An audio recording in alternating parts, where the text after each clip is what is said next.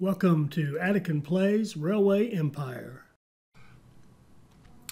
All right, hi, this is Adekyn, and welcome to this continuation of our little series where we are going back and redoing the campaign missions, but we're doing them with uh, kind of the latest technology. We're up to version 1.7 right now. We're running the public beta version with the dynamic warehouses and all that cool stuff. So we're going to do this time the Civil War, mission 4. We're going to skip the cutscene and get right to it.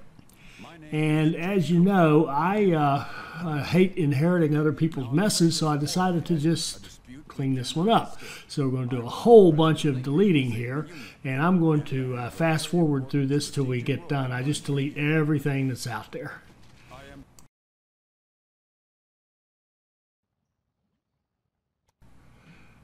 Okay, that didn't take long. So our two first tasks are to grow Louisville to 60,000. It's already over 50 and it has a museum. So that's not terribly hard, but we got to move because it's not getting enough uh, anything really in there.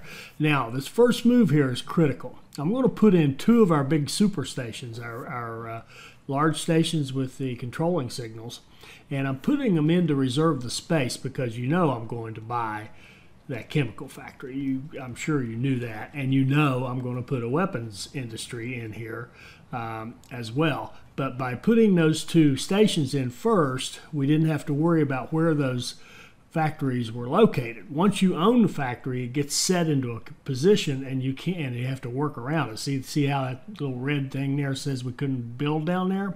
So um, it's very important that you figure out what kind of stations you want first and then do your buying in a situation like this. So we're also going to run the super warehouses and and have take advantage of the fact that they can be outside of Louisville. So now we've just got a whole bunch of potential for bringing stuff in and out of Louisville.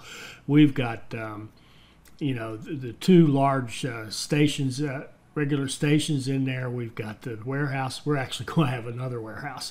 But what I'm setting up here now is the stuff that's going to come in from kind of the south, and also the ability to uh, take our weapons and immediately put them into a warehouse so that we're we we can make um, those weapons and keep that production going and have a place to put them. And we're also getting the um, there's a bunch of stuff you need for the weapons, and I'll talk about that in a minute. But right here, what I'm doing is figuring out what cities are going to bring Louisville the goods it needs to grow. So we can get meat over there in St. Louis. That's the first thing we were looking for. And on top of that, as a bonus, we can get cloth from over there. So that's beautiful. St. Louis is an obvious place for us to hook up. So we're going to run a city to city line between Louisville and St. Louis. And as I said, we'll get meat and cloth, and we'll make sure that that meat and cloth have enough supplies so that they can keep producing and sending meat and cloth to Louisville. So we'll double track it, do our standard uh, uh, double track line. Uh, we've got the point the point to point type connection out here in St. Louis because we're treating it almost like a rapid expansion kind of an approach, using the, as little money as, as we can get away with because we spent three said we spent nine hundred thousand dollars just on those three um, the two stations in the warehouse we put in so far. But we started with five million. After all of our, our, deleting, we ended up with over six and a half million. So we've got plenty of money to work with to build a really nice um, infrastructure here, really fast. That'll promote growth for Louisville and make us a lot of money. So we're setting up our line now with four trains running back and forth between Louisville and St. Louis. And uh, now we're going to say, okay, where can we get beer? Well, Cleveland. Cleveland's making beer. So we're going to run a direct line from Cleveland right into Louisville, into one of our super stations down there. Double track it, and then we'll have a, a line running beer into Cleveland. And of course, we'll make sure that that beer industry in Cleveland has what it needs uh, wheat so that it can keep producing and keep sending beer to Louisville.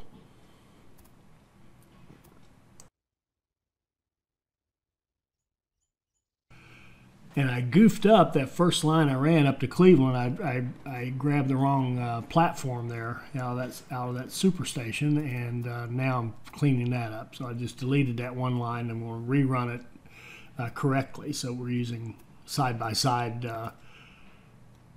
platforms in Louisville to, to, to this line.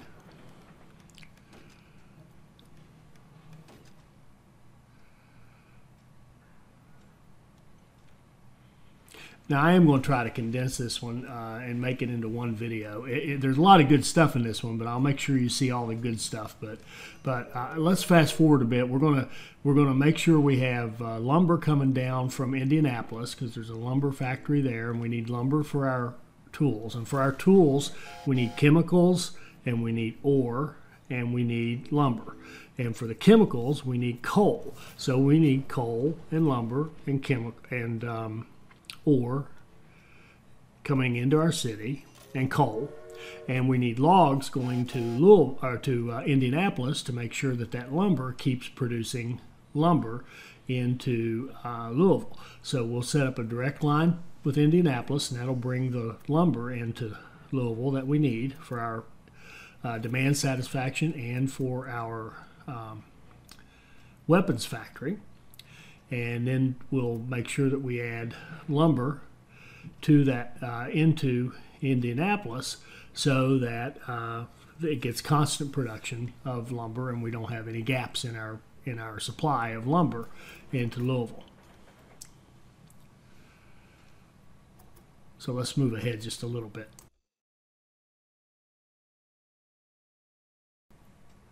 Now, when it comes to the ore, we're going to buy our that ore. We're going to buy the coal, uh, Jackson Pit, and uh, we're actually even going to buy the lumber up here in uh, Martin Forest.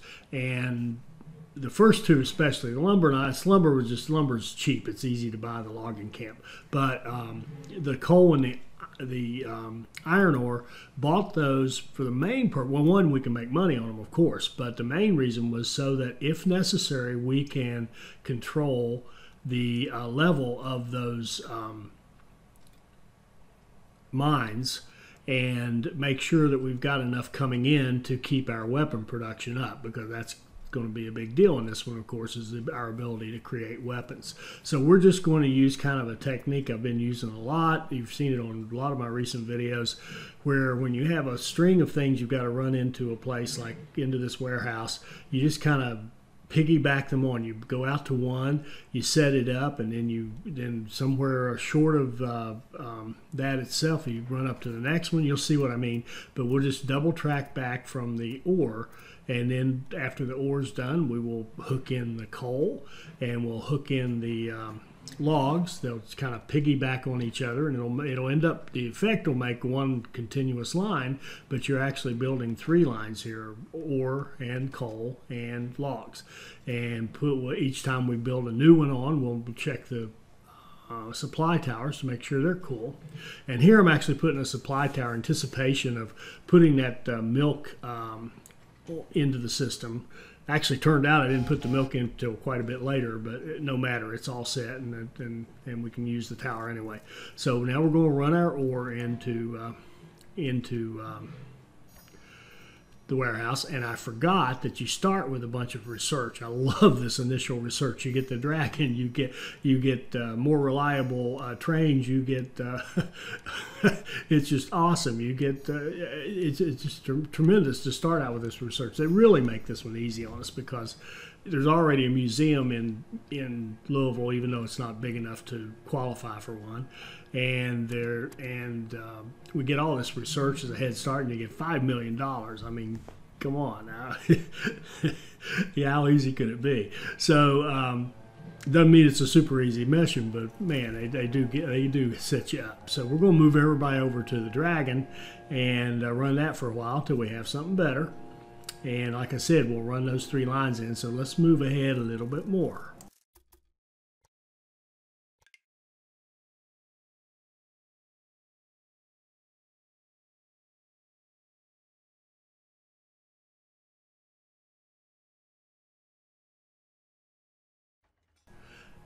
Now, I mentioned earlier that we want to make sure we have logs coming into Indianapolis. So, what I'm going to do here is actually run a line from Chicago because it'll be a profitable line, give us a city to city line, and run that into um, a new station in Indianapolis, and then use that new station to hook uh, a log line into this line right here.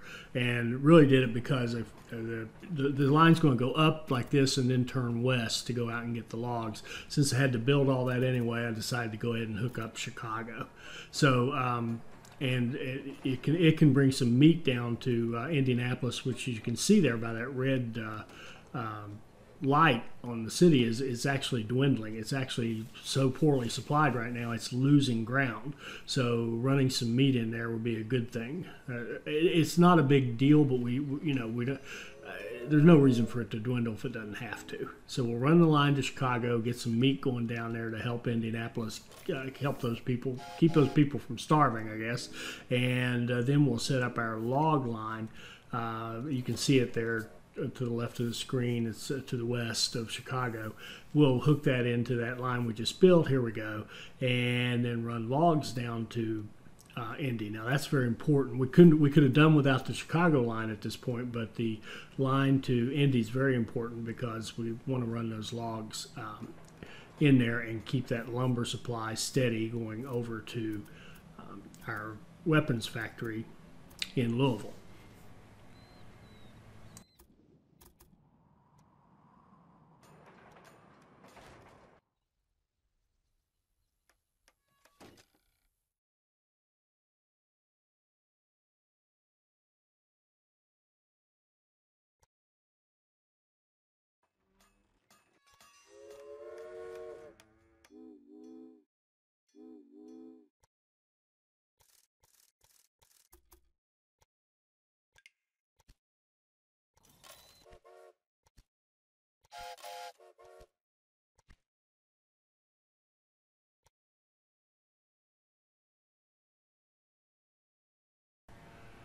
Okay, so we set the logs up. Now let's make sure that our meat business over in uh, St. Louis is has the uh, cattle it needs, and that textile business has the cotton it needs. So we're going to use the same technique. We're going to go past that cotton and pick up Columbia and run a line over here, and then piggyback off that line to run cotton into St. Louis, and piggyback off the line again to run. Um, meat or uh, sorry cattle into St. Louis, and that way we have supplies. I decided here because of the load to run that city to city line actually into this um, existing platform. It's only at 29%, so we're going to have the two city to city lines running into that one station, and then we'll set it up so that the cotton and the um, cattle are running into the new station we just put down in St. Louis and uh, we'll keep uh, St. Louis pretty well supplied for minimal investment. But the main thing is, of course, all these cities are serving Louisville. So uh, the main thing, of course, is to get the cattle there so the meat uh, supply to Louisville is constant and get um, cotton in there so that the textiles can go constantly to Louisville and keep uh, keep that demand satisfaction up as we continue to try to grow Louisville. And keep in mind, we're just in our first month.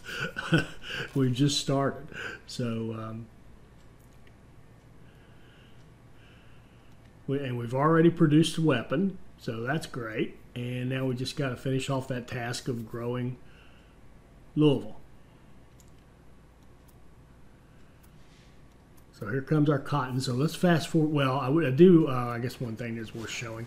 We, um, as I'm running the uh, cotton line, decided to you know put the cotton and the cattle over there on that other station. So we're going to first tap um, tap into the line we already created, going over to Columbia, and then we're going to. Um, I started to set the line and realized uh, no, no, I want to build it out. So uh, we're going to run a little feeder over here that goes over to the other station and hook that up. And now that line is serving, really serving both stations.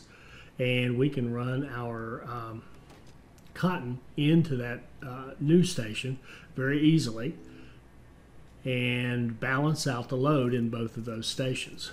This is the kind of thing you have to do when you're not using those super stations, as I call them, the ones with the uh, automated um, uh, the con- uh, control signals. Uh, you um, you know you have to think about the, your load as you go into each one. But if you do, as long as you do, as long as you think about it and and uh, think ahead and, and, balance it out, they they work great.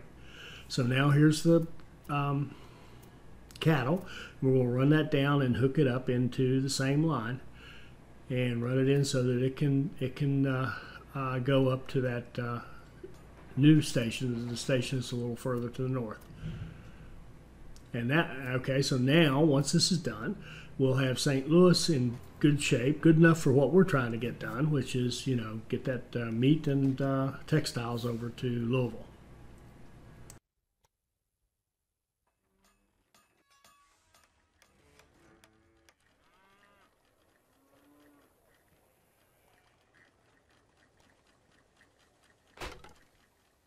And it's worth noting right here, I, I uh, give myself a pat on the back. I noticed that that uh, signal that was running into the station, the, that upper station, was would potentially allow a train to go in there and stop and block traffic uh, at that intersection. So you want to keep your intersections clear and I've said this in recent, recent videos quite a bit.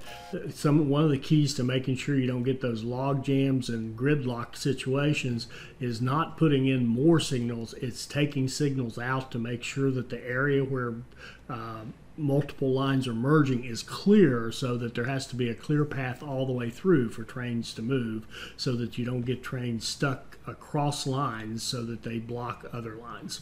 So um, that was an example of that. Now we're going to go ahead and put another one of our little super warehouses over on the other on the north to the north of the Ohio River. And in this map, I'll give them credit. They they did put Louisville on the correct side of the Ohio River. Um, as one of you pointed out uh, on the, the map I use all the time for the examples, they actually have Louisville north of the Ohio River, which is uh, not exactly right.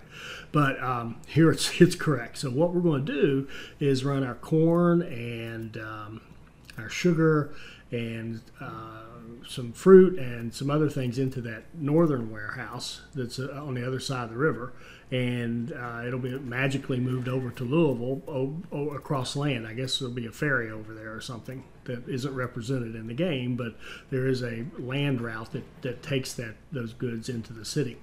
So now, similar to what we did with Indy and with uh, St. Louis, we're going to make sure that Cleveland gets wheat so that we have a constant supply or a steady supply of beer going down to Louisville and then we'll turn around, of course, and flip that uh, uh, wheat to make sure that it can get to our warehouse so that uh, Louisville has wheat as well.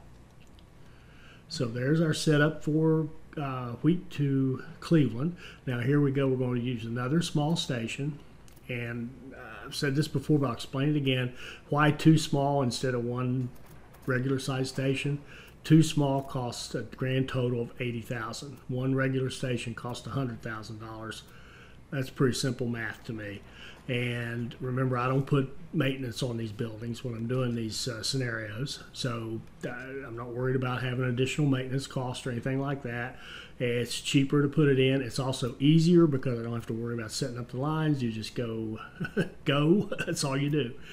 And here we're going to set up the key to making that work is we're going to run a line over here and hook it up with our main trunk line coming down from Cleveland and build an intersection here and run it back to the warehouse. And I actually, I, I know I at once at first I was thinking about running that as one of those flat connections, but I'm glad they left it as a bridge because that way there's zero tie-ups between those two lines. Those lines can just cross over each other or under each other without any problems, and we're good to go. So now we're going to run wheat down to the warehouse and I feel like I'm talking kind of fast, and I think it's because I'm actually playing very fast. This this this this um, uh, scenario flies by, and of course I stay on fast forward most of the time, so it really flies. But uh, this particular one just moves. You got to keep you got to keep moving. If you're playing it well, each new task pops up pretty quickly. So so it, it's it's a great scenario if you like kind of that uh, that uh, if you don't like it to drag, uh, this is this is one for you. So now we're going to set up corn to go into that warehouse, which will feed uh, Louisville.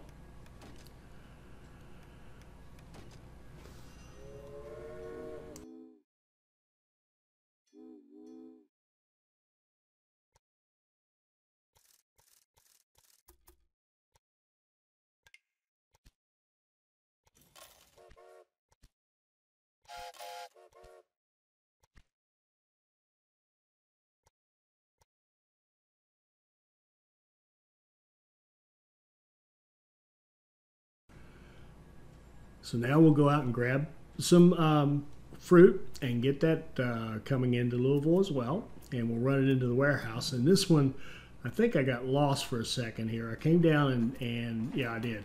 I put it on this line, which is fine. I just connected it into the, an existing trunk line. The thing is, though, that's the trunk line that actually is going into the city of Louisville. I uh, uh, kind of got my uh, directions messed up a little bit there, if you will. So um, I'm looking at this and thinking I'm all done. Turns out I'm not. So as I set the line, I realize, wait a minute, that's not where I'm trying to go. So I've messed up here. But easy fix, easy fix. All we have to do is now come off of that uh, trunk line and go over to the warehouse. Not a problem. And it's not an express line, it's a city to city line hauling freight. Some passengers and mail, but it's basically, I think of it as a freight line. So we're just going to run a, a little line off of our warehouse out this end, go north of the Ohio, and come down here and hook up with um, with that trunk line going from St. Louis to Louisville, and that way our fruit can come down, cross over, go back up to the warehouse, all, all as well. And now we've got a fruit line going into our warehouse and giving us um, more goods. And we finally spent our six and a half million dollars. So now we're going to open up some bonds, and, and with all that stuff we have, we can open some nice big bonds and have a lot more money to to deal with. So this is great. So we got a couple more million dollars to blow through. So we'll give it an extra supply tower and we'll run fruit into our warehouse.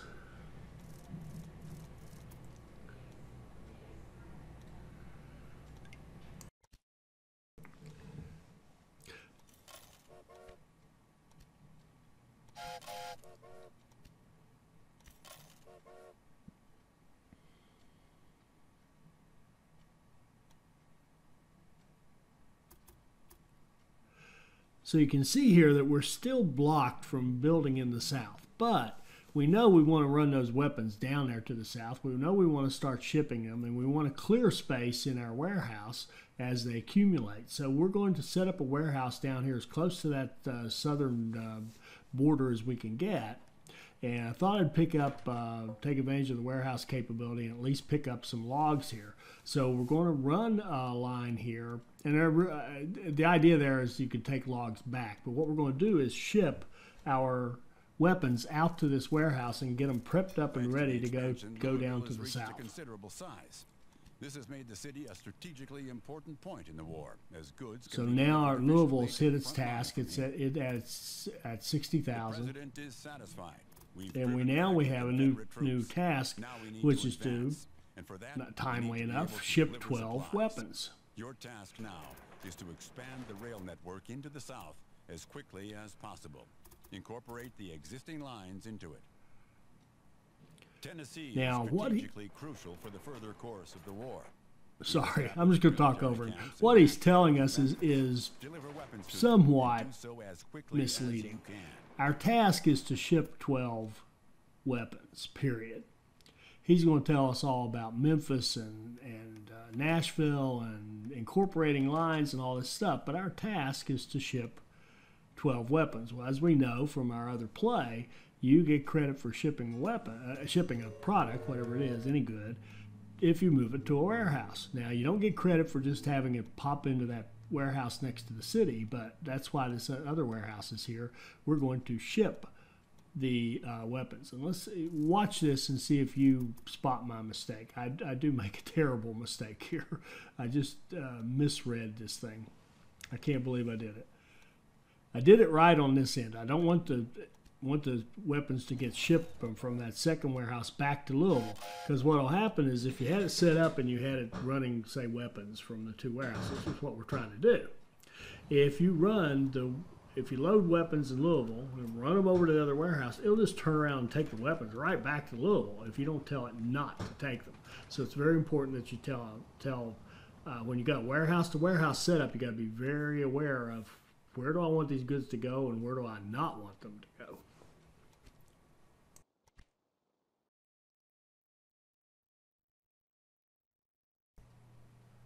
So here, just making sure that the uh, production in our minds matches what we need in the city. We want it to be equal to, it could be slightly greater, but we really want it ideally exactly equal to the demand in the city.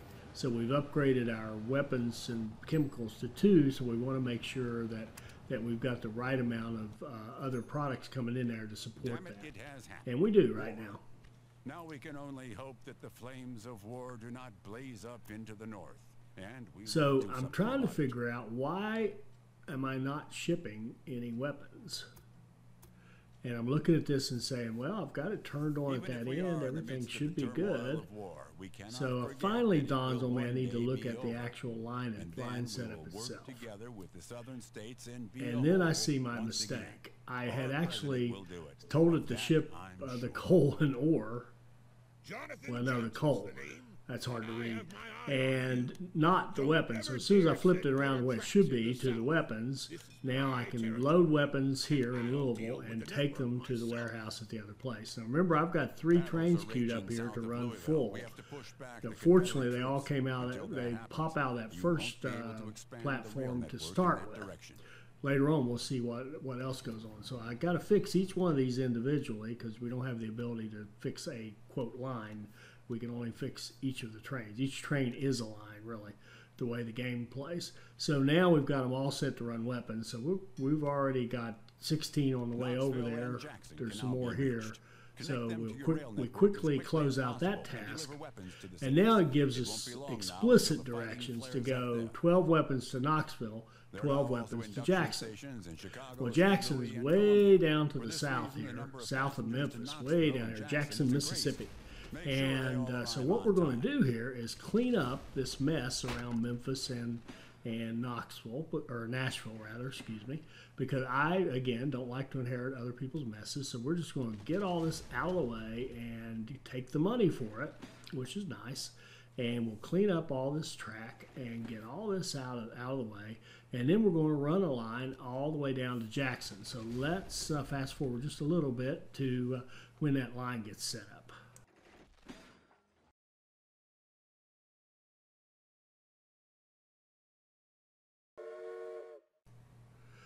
So now we have that line set. So you can guess what we're going to do. We're going to go up here to the warehouse and run a line down to Jackson. And from the warehouse, we're going to say run full there was no time with. Weapons. Don't that, take the logs, just take the weapons. And go to Jackson. politicians Of course, we don't care if anything comes back. And we're going to run two trains full. That'll give us 16. That'll fulfill the task. We could have done two sixes or an eight and a four or whatever. But two are in my trains will fill it up. We're, we're making good weapons at this point. So now what we want to do is, once we get those two going, we can go ahead and set up our line to Knoxville. I did Jackson first uh, because it's the longest uh, route. So I wanted to get it going first, make sure I had those two going. And then I knew I could uh, grab uh, two more train loads to go to Knoxville and knock off both of the tasks. So we're going, and here a little departure for me. I typically go around mountains when I can, but we've got lots of money now. Our money is just doing great. Our income is very solid, and we're just going to go ahead and bite the bullet and build us a nice big tunnel and keep that line nice and flat and fast, and um, run our uh, weapons over to Knoxville. And that tunnel uh, will speed the process up because to go around those mountains, the, the line will probably would have been I'm going to guess three times as long as it ended up being.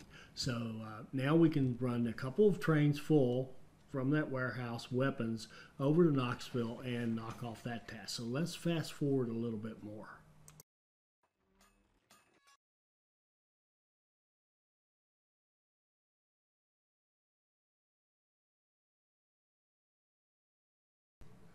Now we had another task in addition to the weapons was to haul 2,000 passengers. Well, our task was to haul 2,000 passengers. It didn't really matter where, even though it told us to take them to the south. And with our infrastructure, that was no problem. Now, what I'm doing here is double checking because there's a hint on there. It's very important. It tells you that recruiting stations are being set up in St. Louis, Des Moines, and Chicago. And you want to make sure, this is a very important thing, you want to make sure that you have lines in your network running to those three cities that go ultimately to Louisville. So we've got it set up so a Des Moines passenger can go from Des Moines to St. Louis, then St. Louis to Louisville. Of course, St. Louis can go directly to Louisville, and then we've got Chicago can go to Indianapolis, get a train in Indianapolis, and go to Louisville. So we've got the ability in our network to move from all three of those recruiting stations to the ultimate recruiting station in Louisville. And what happens now is we get a load of passengers, we get good loads of passengers going to Atlanta. That'll come up later. But right now, you see, here's where you pay for it, having that uh, load full kind of deal uh, on your uh, on your uh, super station here, your super warehouse, because you can't tell it which lane you want. And it took up three of our lanes. So I decided to kill one of the trains, kept two of them and uh, with the hope that that won't mess things up too much. So that's a big disadvantage of the of the new functionality. If you can't use a lane, it's very hard to run full out of it. Now we I could have run these as as uh, just back and forth too. That would have worked just fine. And I think if I was going to do it again, particularly if I used the the uh, warehouse with the special signals, I would I would not run it full. I'd just tell it to run back and forth until it was done. Uh, so now we've gotten, you see Jacksonville has, has hit, and our Knoxville ones have, have are loaded up and are on their way as those trains came back. And, and that was another disadvantage. Having all three of those trains getting loaded, it was actually slowing down the process because they were taking up, not only taking up three platforms, but the loads were being distributed amongst them. And instead of letting a train go ahead and, and um, take off. So that actually slowed us down in another way too, because the two other trains were slowing down the first one that should have already taken off with a full load. So it slowed it down a little bit, but no big deal. So now we've got our trains going off to Knoxville and we'll get that task finished off and let's see what comes up after this. Here we go. There's there's the first train is hit. So there's eight and we know the second train is on its way. And there we go. Now it's, it's finished. And now we see our, our last set of tasks. We've got to help Atlanta out. So what we've got to do is ship a lot of people down to Atlanta for reconstruction and help Atlanta grow. So we've got to haul a whole mess of, of people, 3,000 from uh, Louisville to um, Atlanta. But that's where that uh, having all those lines set up in advance to get you good traffic really helps you out. And then for our building, here's what we're going to do. Rare thing for me, but we're going to keep the infrastructure the general has already set up because it's not awful. And it has a lot of connections that we can use. Then the other thing we're going to do is expand that station in Atlanta, and we're going to expand it all the way out to a superstation with the signaling control. And I had to get rid of all that track in order to do that. And one reason I actually did this was just so you could see that you can actually update or up, update your station, you know, upgrade it to to the uh, controlling signals. However, you got to get rid of all the track and clean out space because it is huge and it has its very it's already fixed. Uh, uh, junction there, and you have to be able to accommodate that size. So we just cleaned out some space for it and um, expanded it. Now we've got a nice uh, super station there in Atlanta. We can run stuff in from the south here to help it grow. We can run passengers in from the north to meet our uh, passenger shipment uh, um, target, and life is good. So we're going to run a line back from Atlanta up to that tunnel that we that we paid a fortune for up there near Knoxville and be able to take advantage of that now to um, get good, fast uh, movement of, of passengers and mail from Louisville to Atlanta. So we'll set up this line. It'll hook in there uh, right near Knoxville.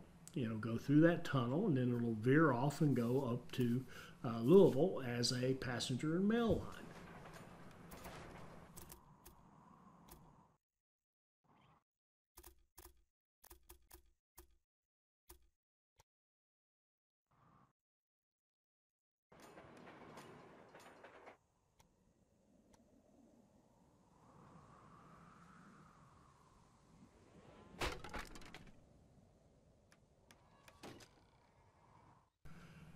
Now, there, I'll pat myself on the back. I'm getting better about it. When I made that merge, there was that signal down there past it, right in front of the Louisville station.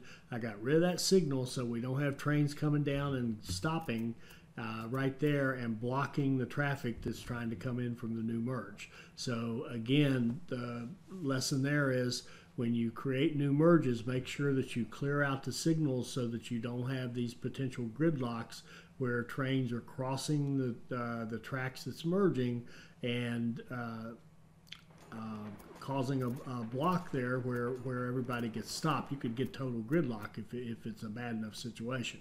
So um, that's that's the thing I'm really trying to work on right now is getting better at recognizing that in advance and not waiting until I have a gridlock to try to fix it.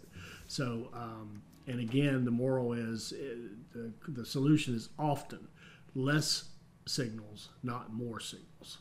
I think our everybody's first inclination is to throw more signals in there and try to get the trains to move up. But what you really want to do is keep the area where the uh, merge is happening. You want to keep that clear of signals so that uh, you've got a nice clean space for everybody to make their decision as to when they go through there. All right, so at this point, uh, the uh, passenger stuff is good. We're going to set up uh, set up our line and run trains between uh, Louisville and um, Atlanta. We'll, we'll run uh, passenger mail only. Five coming out of Atlanta, and then five more, or five coming out of Louisville, and then five more going back toward Atlanta. So we have ten total trains uh, running back and forth. We're running that Rogers American, which is an express train, which is perfect for this. Uh, uh, it'll get us more traffic. And of course, we've done our due diligence and we've got all those hookups with those cities.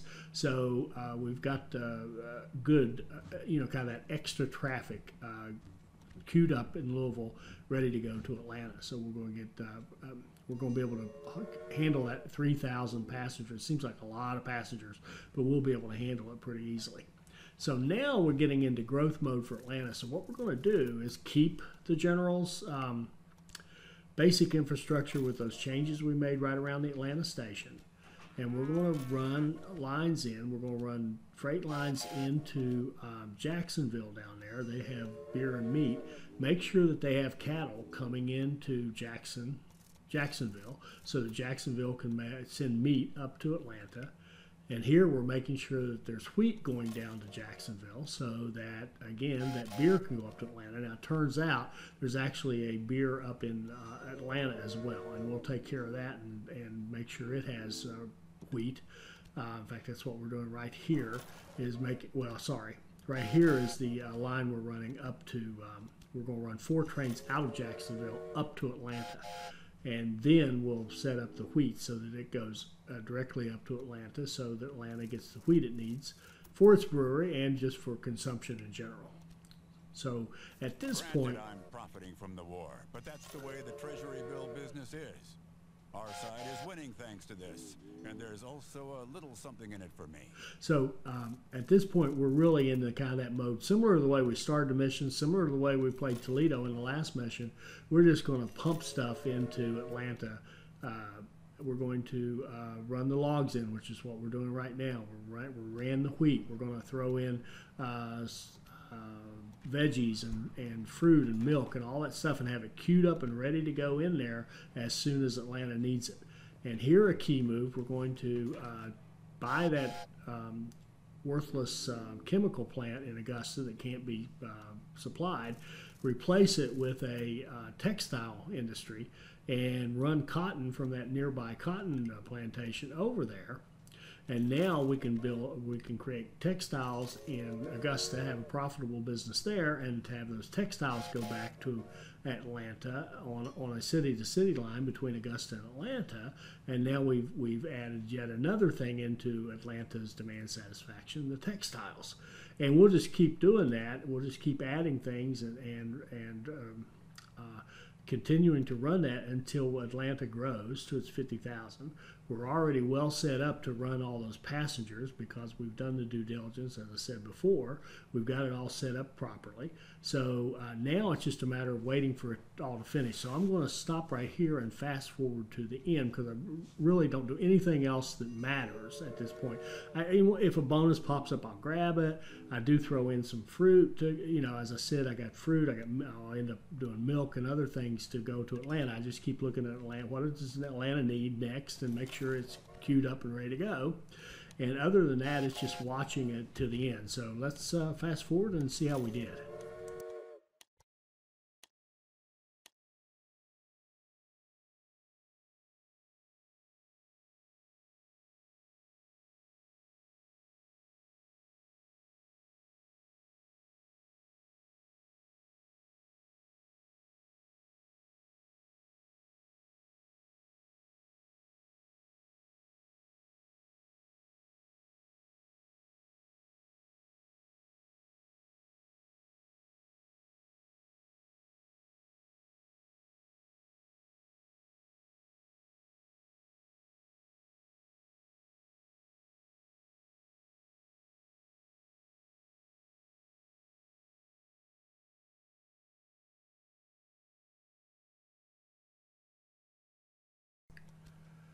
So here we see we're just about done. We've got the passengers have all been moved. We're just uh, got a few needed a few more people in Atlanta. We're good to go. So we thought might as well we're going to repay our bonds, be debt free when we finish, and we're just waiting for those last few people to move into Atlanta so we can get Atlanta our victory screen.